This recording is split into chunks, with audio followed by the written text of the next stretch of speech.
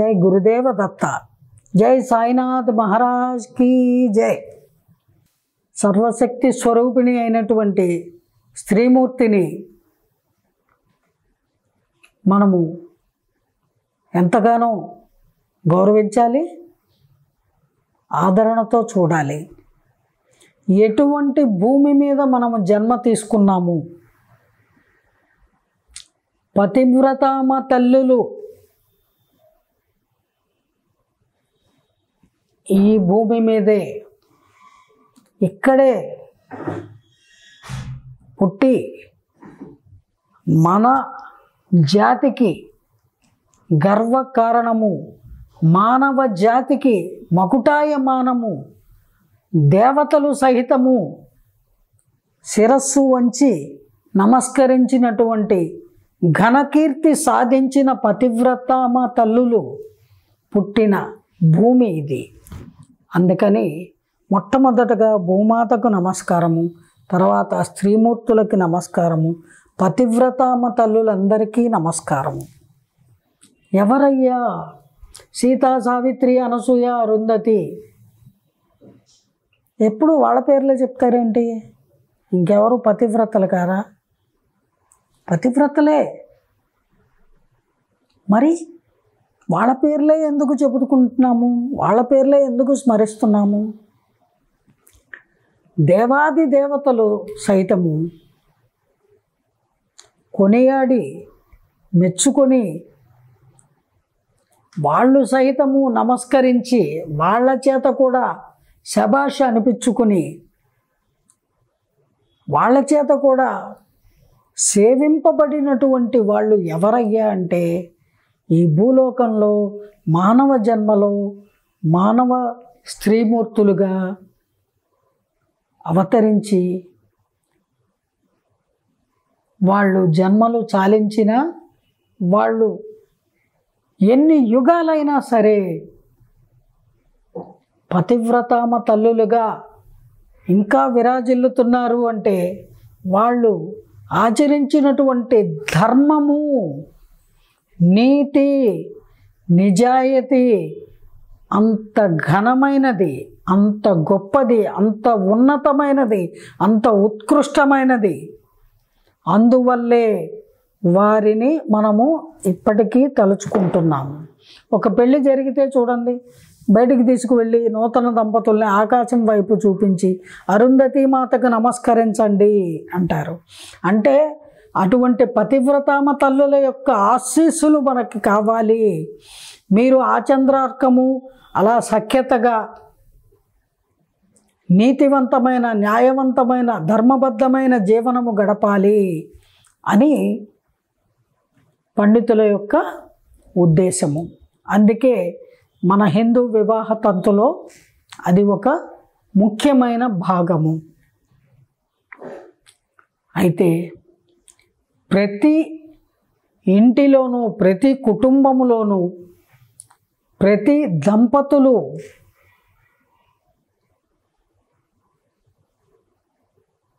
పతివ్రత మాతలుగానే ఉండే ప్రయత్నం చేస్తూ ఉంటారు.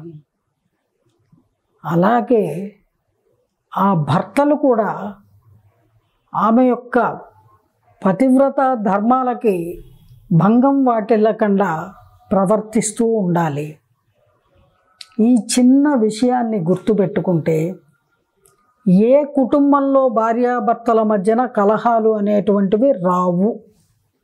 బేసిక్గా ఒకరినొకరు అర్థము చేసుకోవాలి.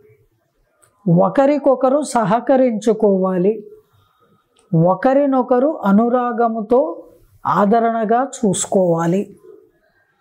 అప్పుడే ఆ దాంపత్యము విచ్ఛిన్నం కాకుండా ప్రశాంతంగా ముందుకు కొనసాగుతుంది.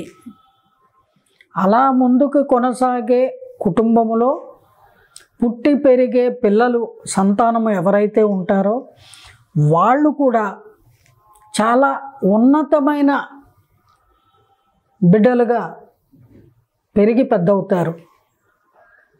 వాళ్ళ వల్ల కుటుంబానికి వంశానికి సమాజానికి దేశానికి కూడా మంచి పేరు ప్రఖ్యాతులు లభిస్తాయి. అందుకని ఎవరు పతివ్రత అనే క్వశ్చన్ కనుక ఎక్కడైనా వస్తే ఏ స్త్రీ తనకు తానుగా చెడు త్రోవలో నడవాలి అని కోరుకోదు.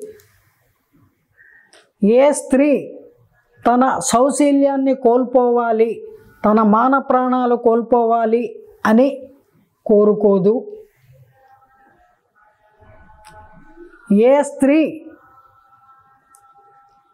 తను తప్పుడు త్రోవలో జీవనాన్ని గడపాలి అని నిశ్చయించుకొని అడుగు ముందుకు వెయ్యదు. పుట్టుక చేత ప్రతి ఆడపిల్ల స్వచ్ఛమైన స్వచ్ఛీలతతో కూడి ఉంటుంది. మరి అటువంటి ఆడపిల్లని ఈ లోకంలో ఈ కలికాలంలో అనేక వర్ణాలు అనేక రంగులు అనేక ఆకర్షణలు అనేక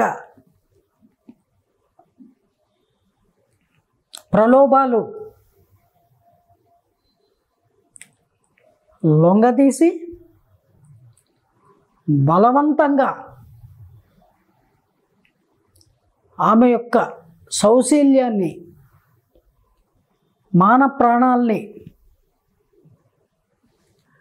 ఇలా నలిపేస్తున్నారు. అప్పుడు ఏ స్త్రీ అయితే అటువంటి దారుణాలకి ప్రలోభాలకి దుర్మార్గాలకి దుస్సంఘటనలకి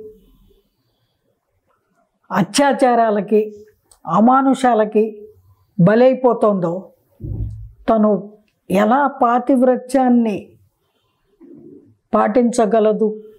ఒక్కసారి ఆలోచించండి. దీనికంతటికీ కారణము ఎవరు?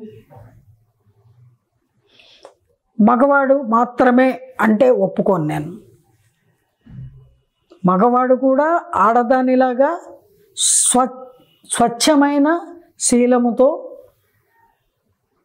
మానవత్వంతో అందరిలాగా చక్కగా పుట్టి పెరుగుతాడు.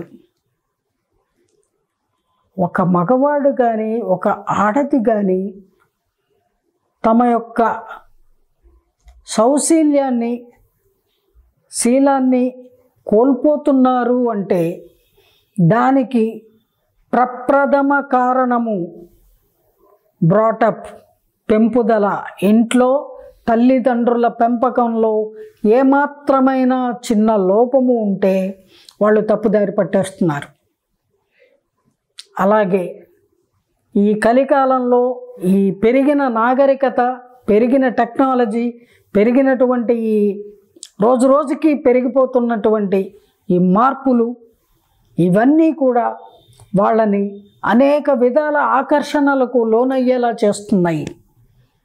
ఆ ఆకర్షణలో పడిపోయి తొందరపాటుతనంతో అమాయకత్వంతో మాయతోటి ఆకర్షణలతోటి ఆశలతోటి వాళ్ళకి తెలియకుండానే వాళ్ళు మానవ జీవితంలో ప్రతి స్త్రీ పురుషులకి ముఖ్యమైనటువంటి శీలాన్ని కోల్పోతున్నారు.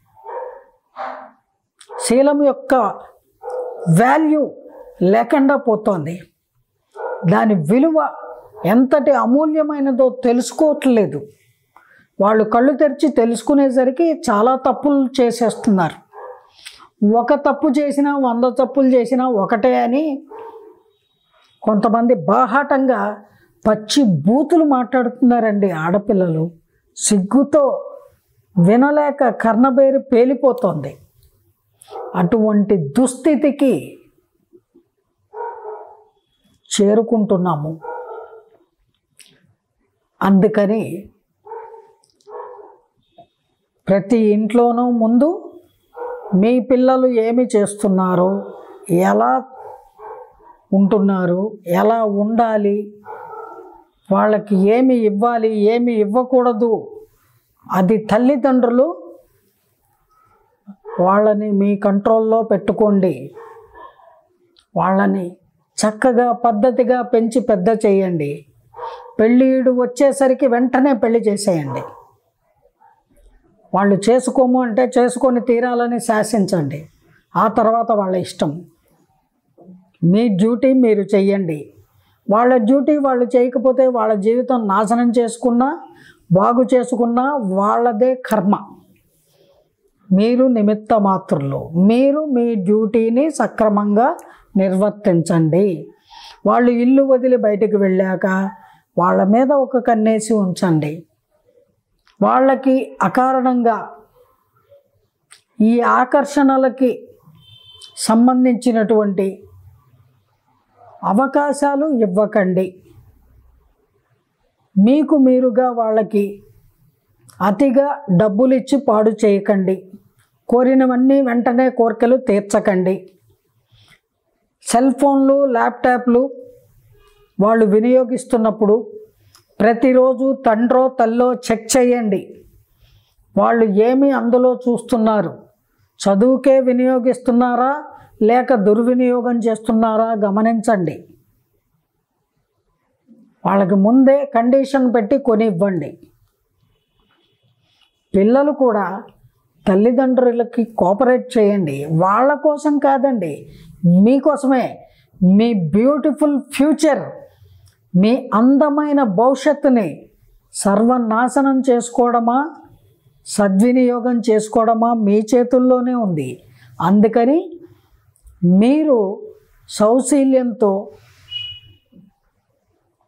సద్బుద్ధితో సక్రమమైన జీవనము క్రమశిక్షణతో కూడిన మంచి అలవాట్లు ఏర్పాటు చేసుకోండి. అప్పుడు అందరూ పతివ్రతలే. అందరూ మగవాళ్ళు సత్శీలులుగానే ఉంటారు. అలా ఎందుకు ఉండలేరు? అలా ఉండేందుకు ప్రయత్నం చేయండి తల్లిదండ్రులు మీరు మీ బిడ్డల్ని బాగా చూసుకోండి. బిడ్డలారా మీరు కూడా తల్లిదండ్రులు చెప్పిన మాట వినండి. పెద్దలు చెప్పిన మాట విన్నవాళ్ళు జీవితంలో పైకొస్తారు. గురువులు మీరు కూడా మీ శిష్యులందరినీ సన్మార్గంలో నడిపించండి. మంచి మంచి విషయాలను మాత్రమే నేర్పండి. మంచి పౌరులుగా తీర్చిదిద్దండి. జై గురుదేవ జై సాయినాథ్ మహారాజ్కి జై.